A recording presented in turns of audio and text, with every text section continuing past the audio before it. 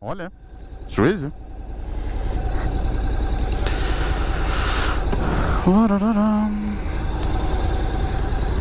Sim, se não tiras o travão, está-se fixe. Bah. Uh, isto viajar com pendura é como aprender a conduzir novamente. Para alguém com muito pouca experiência, ou nenhuma, em andar com pendura, se há coisas. E atenção, eu não tenho experiência nem gosto de andar com pendura. E porquê? Porque, primeiro, porque é mais peso. Mesmo sendo alguém como, como a Rebel Rider que não, não tem muito peso, é peso. E segundo, não é bem como se colocássemos um saco de cimento atrás, porque se esse peso não colabora, pode chegar a ter perigo, pode, pode chegar até ser perigoso para quem não tem experiência. E depois, porque assim, estão os vários tipos de pendura. Estão aqueles que vão, como eu já vi que é um perigo, literalmente reclinados numa top case e a mandar mensagens de telemóvel. Com o telemóvel neste caso. Estão aqueles que parece que estão integrados com o piloto e pronto, até parece que estão a raspar o joelho no chão em uníssono. um, pronto, eu já, eu já andei de pendura, ou melhor, com a Rebel Rider e com o meu filho maior e obviamente o meu filho maior não tem a experiência da Rebel Rider no que toca a ser pendura. Embora seja muito mais leve, uh,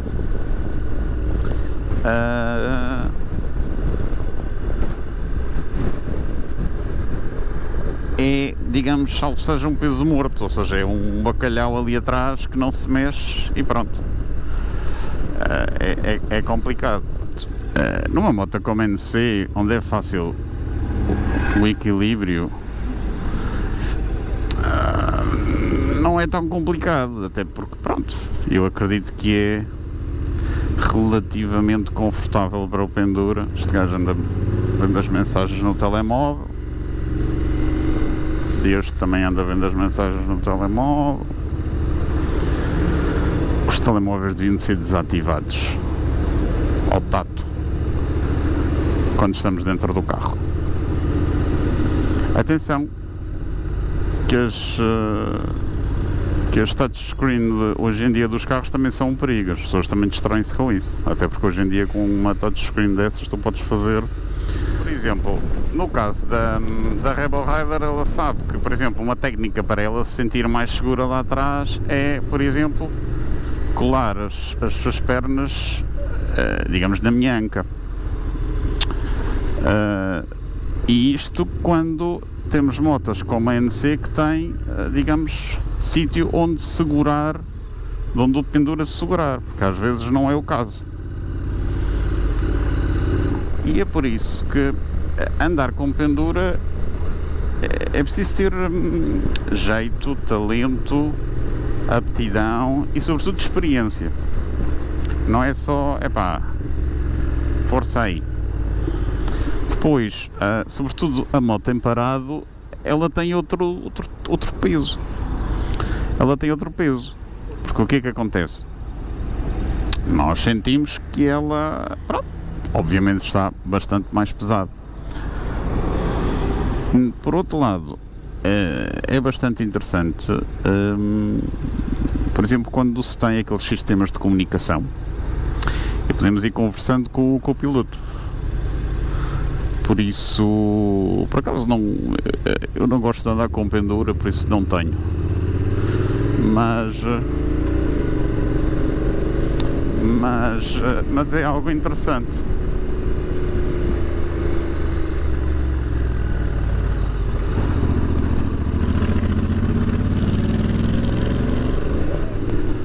é tal coisa hum, as poucas vezes que eu já andei de pendura a sensação quando vamos uh, ao lado do condutor num automóvel é que pronto, vemos tudo mais perto, mais próximo.